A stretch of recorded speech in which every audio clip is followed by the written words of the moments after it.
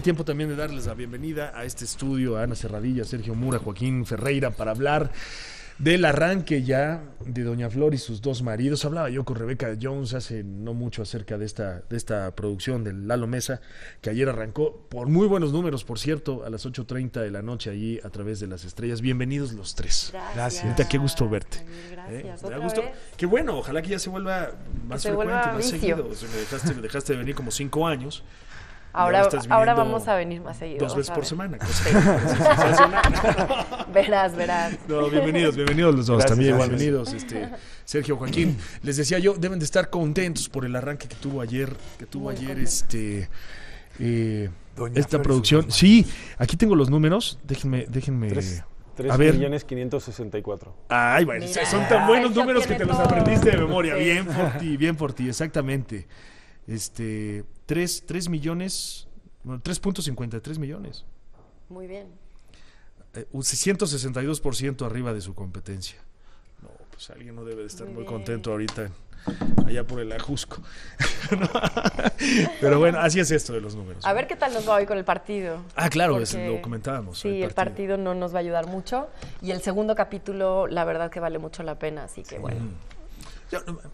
Lo importante es que ya se enganchó la gente, ¿no? Lo importante es que ayer vio... Y está en Y internet también, pueden ver los primeros cinco Eso es capítulos importante. por internet. Si se lo pierden, pueden siempre acudir a la parte digital. Está en YouTube y está en la página de Televisa también. Eso es importantísimo. Qué bueno sí, que lo sí. mencionas. Y que la respuesta también en redes ha sido muy positiva. Muy, muy positiva. Oye, eso es es, bueno. eh, oye, es una adaptación de una Novela. producción brasileña, Ajá. ¿sí, no? De una novela de escrita. una, de una telenovela. No, de una novela escrita. Ah, de Es una novela Amado. escrita. Ajá, Ah, es una claro, novela. es una novela de Sí. 1966 de Jorge Amado, que luego en el 76 se hace película con Sonia Braga. Mm, es cierto. Y luego se hace en el 82 también, remake, perdona, eh, en Hollywood. Mm, entiendo. Y creo que se ha hecho alguna novela en brasileño, pero es la primera vez que se hace en español. Sí, y además de esta manera, porque creo que eh, tuviera- fue muy acertada la adaptación. Muchos están hablando de la adaptación de esta, de esta, Sí, es de esta novela diferente.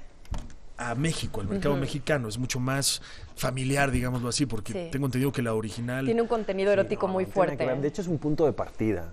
O sea, sí, sí que hay como una estructura, hay un, el concepto de, de- Del del fantasma. fantasma, Ujú. de, digamos, el amor racional, el amor pasional y, y esa dualidad.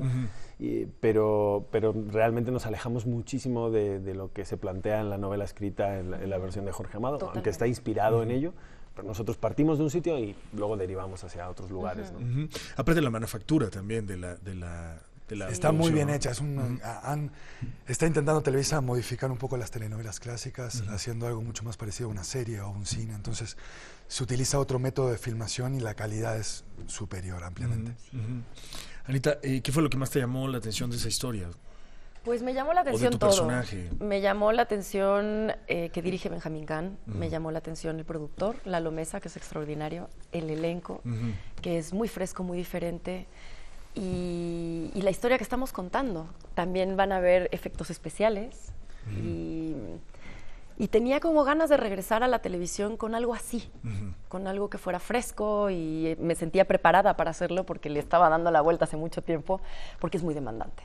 Hacer un proyecto así en televisión es extremadamente rudo y estábamos conscientes que el trabajo iba a estar potente, pero no tanto, ¿verdad? Siguen grabando, ¿no? Sí. Seguimos Nos grabando y por faltan casi dos meses. Nos tocó un equipazo. Yo creo Sí. que eso es fundamental. Eso ayuda Eh, también mucho. Estamos que estamos felices. Una, buena vibra increíble y, y eso acompaña porque estamos ¿Verdad? todo el día juntos. No, suma. eh, Yo, Sí. yo siempre he pensado que eso traspasa la pantalla. Totalmente. Se ve, la gente percibe cuando hay una buena química Ajá. dentro del equipo, hasta la producción, ¿no? Totalmente. A cuando no la hay. Ajá. Y funciona de, funciona de manera diferente el proyecto. Sí. Y hay grandes actores. Sí, sí, sí, Actorazos, sí. realmente.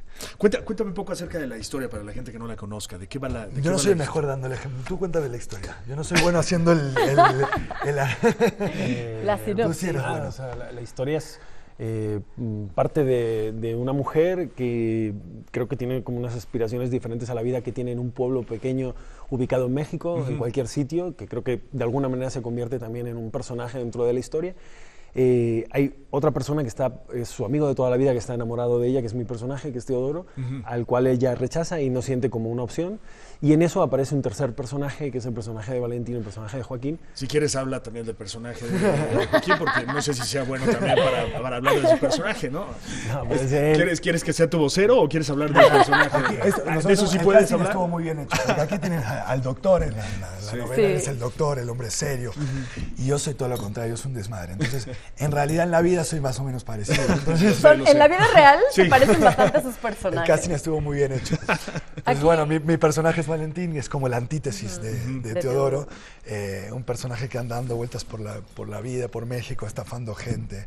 eh, conociendo mujeres, hasta que conoce a Flor y se enamora perdidamente de ella e intenta modificar su vida y cambiar y dejar de mentir y, y empezar a hacer una vida un poco más recta.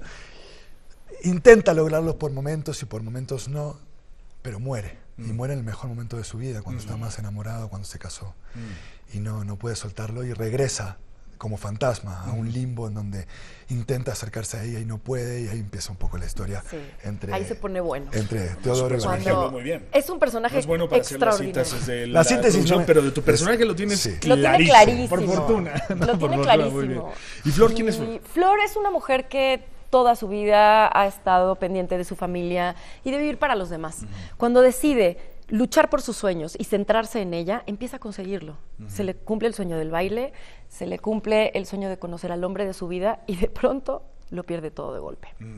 Entonces, eh, al darse cuenta y decepcionarse un poco de el amor de su vida, decide replantearse sus decisiones y darse una segunda oportunidad con Teodoro.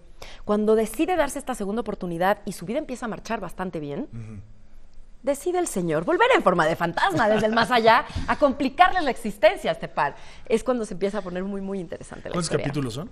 Son 62. Es- Es un melodrama con toques de comedia y con fantasía. Hay efectos especiales.